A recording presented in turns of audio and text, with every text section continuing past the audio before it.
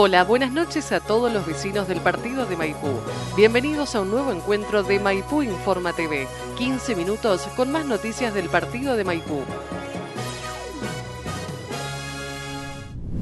Se viene un fin de semana largo y la secretaria de Cultura programó una obra de teatro infantil y una comedia para adultos para este sábado en el Teatro de la Sociedad Italiana. Marina Golé nos brinda más detalles de estas obras enviadas por las giras del Teatro Auditorium de Mar del Plata.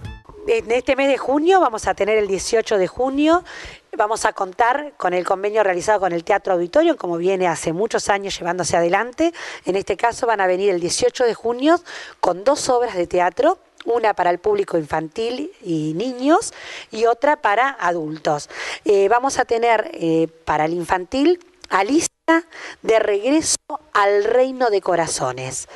Eh, una obra que realmente no tiene desperdicio, tiene muy buena musicalización, muy buen argumento, así que a llevar los niños al teatro va a ser todo en el Teatro de la Sociedad Italiana, esta jornada de las giras del Teatro Auditorio, así que hay espacio, eh, es gratuito, acerquen los niños al teatro, acerquen a sus hijos y acérquense ustedes, papás, con sus hijos a compartir una experiencia de teatro junto a ellos, la historia contada desde las tablas, que bueno, se vive de otra manera el relato. Así que Alicia en el regreso del Reino de Corazones estará el sábado 18 de junio en el Teatro de la Sociedad Italiana, gratuitos, en el marco de giras del Teatro Auditorio. En este marco, también en la noche tenemos la lección de Afrodita, una obra también excelente, multipremiada, El Mar de Plata, en la cual está el actor y la produce Mario Carnelia, quien fue profesor durante seis años aquí en Maipú y bueno, ya vino este año a presentar su libro también de teatro. Eh, es excelente Mario en lo que hace, es excelente la obra, tiene muy buenas críticas. Así que el público adulto también a las 21 horas tendrá su espacio para vivir el teatro de la gira del Teatro Auditorio.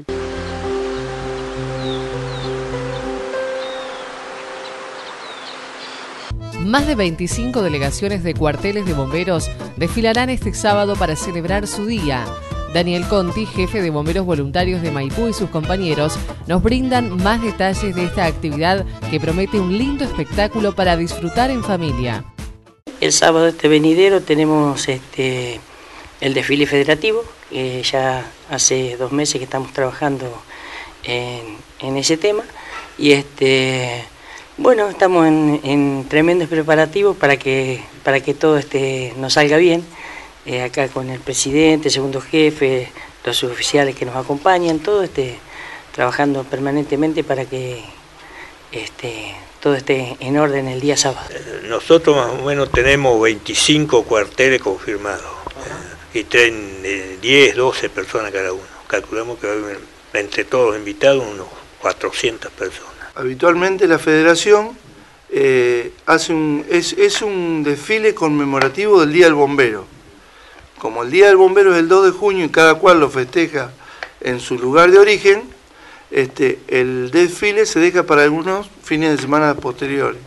Y se sortea una vez al año y esta vez nos ha tocado realizarlo nosotros. De nuestra federación tenemos todo lo que es Chascomú, Castelli, Lezama, Pila, eh, Lobo, Roque Pérez, van a venir gente del Gran Buenos Aires, Avellaneda, Quilmes, Quilmes y Avellaneda eh, son uno de los cuarteles más grandes que hay, La Boca, La Boca incluso tienen un, hay un cierto conexión con nosotros de hace muchísimos años.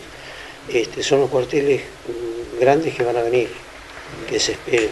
Hay 25 confirmados, parece que, dijo el presidente. Es un acto, una fiesta muy linda. Eh, aprovechamos la ocasión para que el pueblo se arrime, para que vean eh, los camiones, las autobombas que van a venir. Es una cosa muy linda. Eh, va a ser acá sobre la calle Ramos Mejía. Esperamos a la gente que concurra y, bueno, que pasen un buen momento disfrutando de lo que se podemos mostrar de nuestra actividad. Bueno, nosotros acá tenemos un plantel de 40 bomberos, más el destacamento de las armas, 15 más. Son alrededor de 45 más o menos. Ahora tenemos una entrada de, aspirantes en las armas son 7, 8 chicos más, y acá tuvimos el ingreso de 4 o 5 más, así que este, eh, creo que vamos agrandando la, la, parte personal. ¿Cómo, ¿Cómo encuentran la vocación esa gente que se acerca? Mira, yo creo que, más allá de todo, creo que todos debemos nacer con una vocación a servir porque eh, vos ves las personas cuando la disponibilidad de cada uno, eh, cuando tienen que realizar alguna actividad, eh, cuando se los llama o se los convoca por algo, en un porcentaje mayoritario está, ¿viste? A veces uno por trabajo, por... O sea, nunca estamos los 45, los 40 juntos, porque obviamente somos voluntarios, todos tenemos nuestras vidas personales, entonces este, eh, tratamos de que, bueno, si es a la mañana hay un grupo que no trabaja a la mañana o que tiene más disponibilidad en sus trabajos, y si es a la tarde también y a la noche también, nos vamos repartiendo. Pero siempre tenemos en cada toque sirena, tenemos alrededor de 20, 25 personas tenemos en el cuartel, disponibles a trabajar. Y queremos invitar a la gente del pueblo, más allá de que personalmente todos estamos eh, en el comentario y todo, y la gente ya está este, eh, enterada de, de, este, de esta movida, este, queremos invitarlo más o menos alrededor de once y media de la mañana, va a dar comienzo esto. Este, va a haber un acto acá enfrente del cuartel que va a estar el escenario, un acto de protocolar y después bueno se va a iniciar el desfile. Y después terminamos con un almuerzo en la sociedad rural.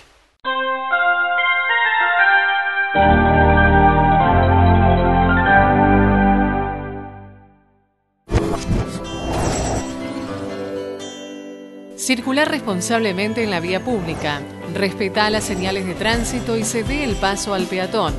Si tomas alcohol, no conduzcas. No uses celular. No circules a contramano y circula con los papeles al día. Respeta los límites de velocidad. Si vas en moto, usa siempre casco vos y tu acompañante. Solo dos personas por moto. Si vas en auto, los niños siempre en el asiento trasero y con cinturón. Si vas en bicicleta, usa siempre casco vos y tu acompañante. Usa las balizas intermitentes. Usa ropa refractaria. Si sos peatón, circula siempre por la vereda, no por las bocas calles. Cruza por las esquinas y sendas peatonales. Respetando las normas de tránsito, nos cuidamos entre todos. El municipio de Maipú informa los horarios de higiene urbana. Recolección de residuos. En Maipú, domingos a viernes de 22 a 4. En Las Armas, martes por la tarde y viernes por la mañana. En Santo Domingo, lunes, miércoles y viernes por la mañana. Recolección de ramas y escombros en Maipú. Ramas, martes y jueves por la mañana. Escombros, miércoles y viernes por la mañana. Limpieza vía pública en Maipú, lunes a viernes de 7 a 13 horas. Ante cualquier duda, comuníquese con la Subsecretaría de Servicios Públicos al teléfono 422-101 en el horario de 7 a 13 horas. Viví Maipú en verde.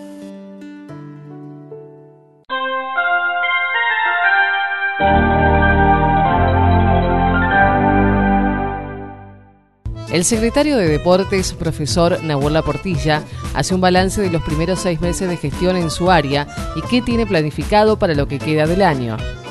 Muy bien, mira, de lo propuesto en estos últimos seis meses de esta nueva gestión del intendente Matías Rapalini, eh, bueno, y ahora acompañado por suerte de una directora de deporte que es Madalena Fontana, este, hoy nos permite trabajar de manera mancomunada y en equipo y hemos logrado que eh, que, mejoremos el accionar en, muchas cuestiones.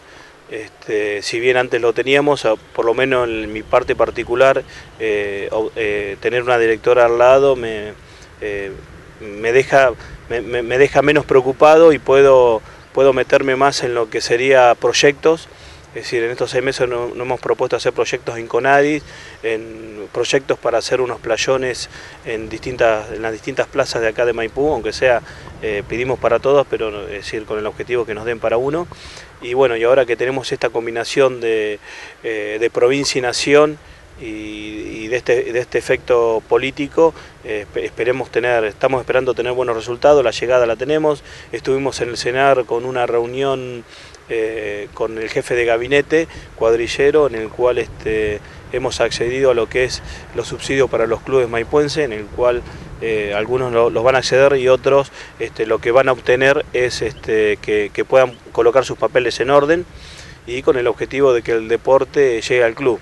Eh, estamos tramitando también lo que sería la tarifa social para estos clubes, en el cual eh, tiene muchísimos gastos y esperamos que, que, puedan acceder. Para acceder a esto, obvio, cada club tiene que tener los papeles en orden. Si, esto es así, lo va a obtener. Bueno, y el objetivo del municipio es que la mayoría de los clubes estén en orden y, se pueda puedan llegar a, cumplir con su objetivo social y deportivo.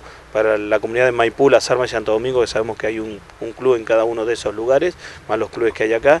Y bueno, una parte de este semestre fue realizado en la parte de que es proyectos. Y bueno, y hemos continuado con lo que es, eh, que venimos hace años, con, con, lo que es el programa Escuela Municipal de Deportes. Y donde obvio tenemos este, eh, gente que nos representa en la provincia, eh, alumnos que, y profesores que nos representan fuera de la provincia y a nivel eh, internacional, como ha sido el caso de Ailera Armada, este, que nos ha ido a representar afuera, en el caso de Alejo Novillo, en handball también, que, que representan todos los argentinos, y, esto te llena un poquito de alegría, que sabiendo que no solamente un Maipú se está representando a Maipú, sino que está representando a toda la Argentina.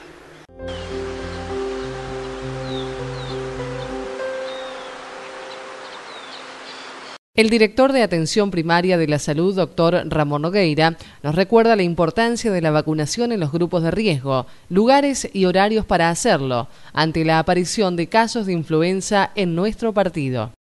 Doctor Ramón Nodeira, director de atención primaria del municipio de Maipú, este, ¿cómo va el tema de la gripe H1? Han aparecido algunos casos aquí en, Maipú que no, es, no está exento a lo que está sucediendo en toda la nación y la provincia, ¿no? Sí, eh, bueno, con respecto a esto, eh, sí, eh, hemos encontrado la circulación viral, hemos tenido este, enfermos este, de influenza, eh, hasta ahora eh, la presencia eh, de circulación viral la hemos detectado en adultos mayores en una cantidad aproximadamente de cuatro. Hay cuatro detectados por virus influenza, de esos este, los cuatro son de influenza A. sabemos que la vacuna de este año tiene eh, tiene defensas para la circulación del virus influenza y el influenza B.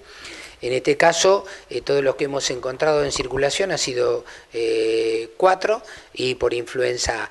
De estos, uno no se ha encontrado caracterización, o sea, subtipos, y después de los otros tres eh, sí hemos obtenido la caracterización, que es la subtificación de tres que son H1N1. Hasta ahora lo que hemos detectado, hemos detectado en gente con, con grupo de riesgo, eh, hemos encontrado eh, personas con cardiopatías, eh, hemos detectado en gente con problemas renales, hemos detectado en gente con problemas, con problemas de diabetes, hemos eh, detectado eh, en gente mayor de 65 años. Todos ellos clasificados eh, en grupos de riesgo, igual a la información que tenemos a través de región octava y de provincia y de nación, en la que este, queremos transmitir a la población en general la importancia de la vacuna para evitar este, la forma grave de la influenza en todas aquellas personas que tienen grupo de riesgo, llámense los chicos de 6 a 24 meses, llámense embarazadas,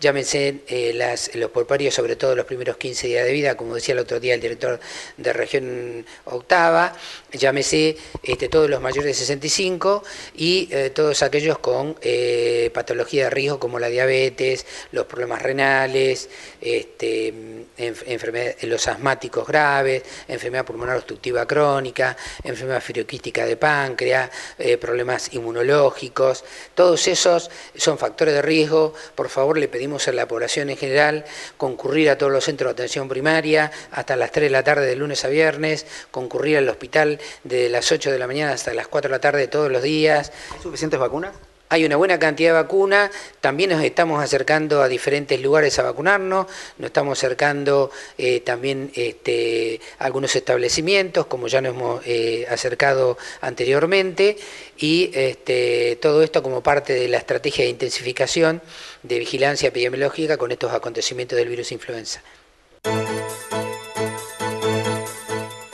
Hasta aquí compartimos Maipú Informa TV, el encuentro diario con más noticias del partido de Maipú.